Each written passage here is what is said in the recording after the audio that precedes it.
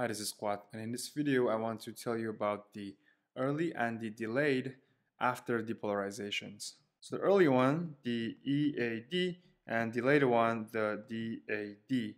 Now, the typical ventricular action potential looks something like that. It has a few phases, the resting phase, phase 4, rising phase, phase 0, phase 1 to drop, phase 2 to sustained action potential, and phase 3 to bring the potential down. Now, it's not a problem if the next one starts around here.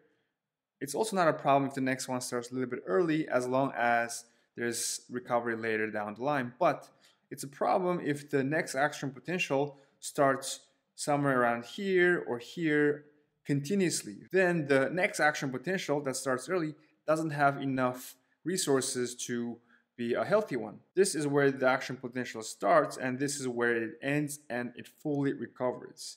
So a lot of things will be used in the early phase and be deactivated down the line. For example, the voltage gated NA channel is on all of these times, but it gets deactivated around here. This is what gives you the effective refractory period or absolute refractory period, where next action potential is going to be very difficult to start. Also, the voltage gated calcium channels, they are difficult to turn off, so they give you this long um, phase two. Again, they need to be fully recovered before the next action potential can start.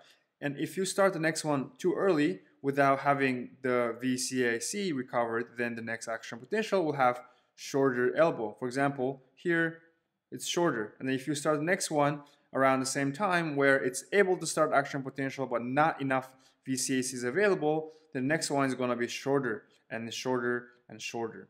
And by the way, this um, what I just drew, starting of the next action potential where it's able to start. That means the VNACs are available for you to start the next one, but not enough VCAC available. This is the delayed after depolarization. And delayed after depolarization happens when the action potential starts somewhere around here. Again, start, end. You have to wait to have the next action potential to be exact the same. But if you don't wait and start around here, the NA gates are back. They're ready for you to shoot, but the calcium gates are not there. So the shoulder here is going to be shorter than the previous one. And if you keep doing this, then the shoulder gets shorter and shorter, eventually bunch of lines. And this is the delayed after depolarization. Now let's talk about some of the hallmarks of DAD. First, obviously, high heart rate. Because look, the frequency is higher every action potential is narrower because you can't sustain the phase two. So you end up with high heart rate.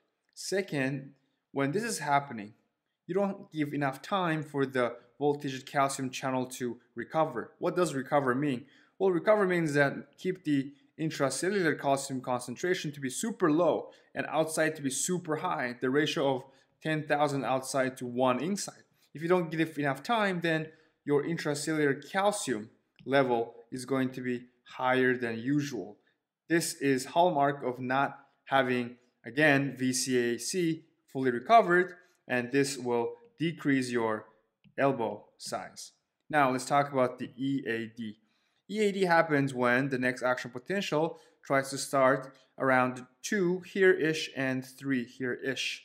This is a problem not because you don't have enough CAC. Of course you don't. But the real problem here, or the more urgent one, is that you don't have enough NA channels ready for you to shoot the next one. As a result, you'll end up not being able to create the next action potential properly and this heart can get to arrhythmia. So is DAD. Why is it that the action potential is trying to start too early? Well, it's because look at the uh, voltage gated NA channel. It has the M gate and then the H gate.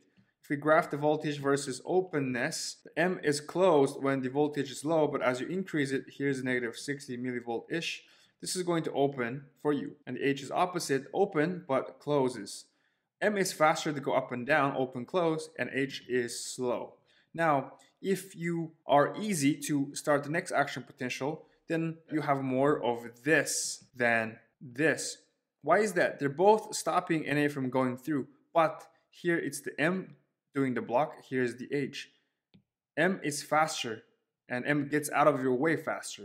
You give it a signal, M will disappear and NA can go, but H is slow, so this is better at starting the next action potential.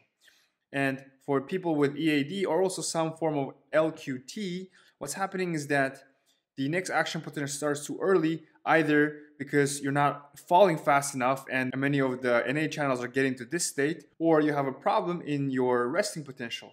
In fact, people with EAD usually have hypokalemia, so outside concentration of K is lower than usual.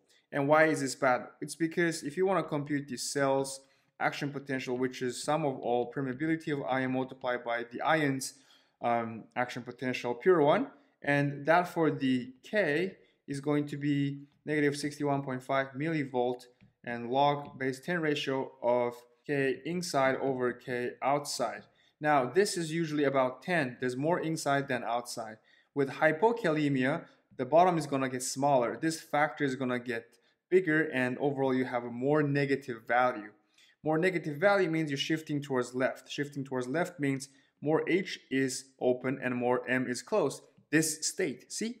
The hypokalemia led to easier setup to start the next action potential.